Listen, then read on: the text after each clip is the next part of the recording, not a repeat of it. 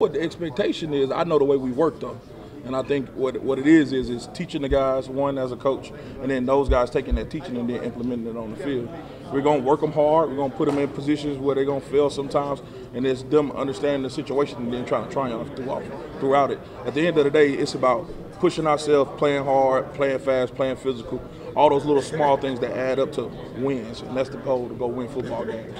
And where, where do you feel? How do you feel personally being in I mean, year two of a full, you know, going into fall camp, kind of having this unit under your control? How, how do well, you feel? it's, it's it's always better when they already know the teaching. So now it's not like having to lay a foundation all over again. Yeah. So because we have laid the foundation, now they know the drills already. So I can just say a drill. They step out there, they know how to do it. That makes it easier. But also we got to play a little bit more football. So we get that indie time where we focus in on the minute deals, where it's just pure D line play, but being able to put the uh, O line out there, work the blocks, block recognition, understanding when they're sitting back on their heels is pass, when they're leaning forward is run. All those little small things that can make us better on game day is where we take the next step. The foundation's laid, like I said, they understand how we work. Now it's understanding how we work, putting it together, and then getting to the game, and then going go and have some success in, the games. Yeah, and, I mean, la- lastly for me, is this this defense was given itself the nickname the Death Row defense. What, what are your thoughts on, on that? Just kind of giving. Well, yeah, that- you know, Coach Poe came. You know, Coach Poe. We had a vote, and Coach Poe came up with it. Uh, two it was, you know, being attached to some type of identity. I think, like for instance, we call ourselves Trench Mob. We give them something to buy into, and then they get behind it, and then they start they start moving in the right direction. It's something that you can continue to build on, and I think they take pride in it, and, and with that, we work hard every day to, to uphold the name too. Thanks, coach. No problem. What's this experience kind of done for this year, like bringing so many of, these guys back? And does it, does it give expectation, or, or how do you kind of treat it? Yeah, I don't think it. Uh, to, for, not for me as far as give expectation. What I what I think it does the best for us is it helps with the younger guys. When you got some guys that that redshirted last year that didn't play much in games, the biggest thing that can help you is having veterans. So being able to bring back the guys that played for us at this position allows our younger guys to take the next next step.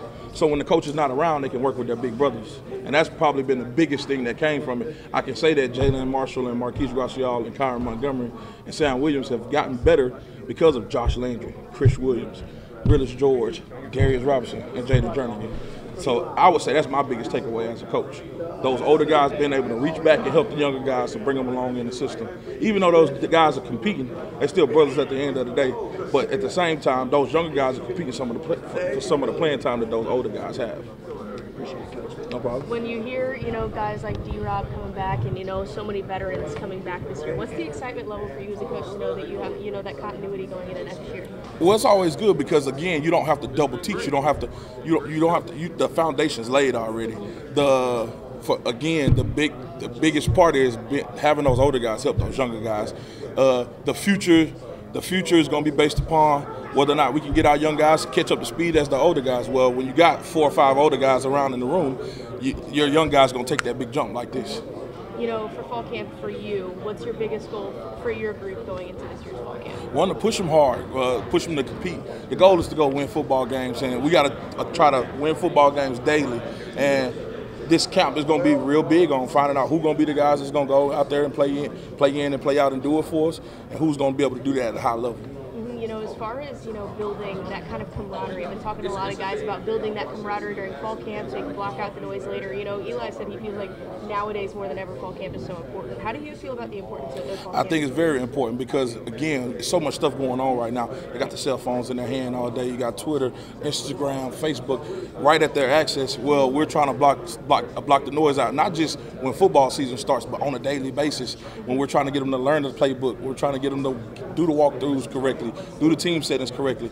So for us, being able to one seclude ourselves a little bit, and take ourselves away from the world, so we can focus on football, but then being able to carry it over when the season gets here on game day. you know, D-Rob was saying at SEC Media Days, his biggest goal, goal is, you know, to, to grow himself on film even more. What do you think is the biggest thing he can do this season? One is one is continue to practice hard. I think where he took a big jump last year was he did practice hard last year, harder than he did before, and then it showed up on game days. So long as he continues to every day chip away at that, practicing harder, trying to put put better drill, better better technique and fundamentals on film, then he'll get what he wants out of it. You know, last year obviously impressed a lot of people. With this defense did. Uh, how do you feel like you carry that over and have that same success into another season? Well, it's, a different defense. Yeah. We got a couple, some young guys that are going to be able to help us. We got some transfers that came in that are going to be able to help us. So I think we'll, in that sense, we'll be a little different. But again, we're, we're going to we're going to find that out in fall camp. Because right now we've been running around with t-shirts on. They've been it looked good running up and down the stadium, but until they get out there and hit each other, we don't really know. Appreciate the time. Yes, Thank you. ma'am.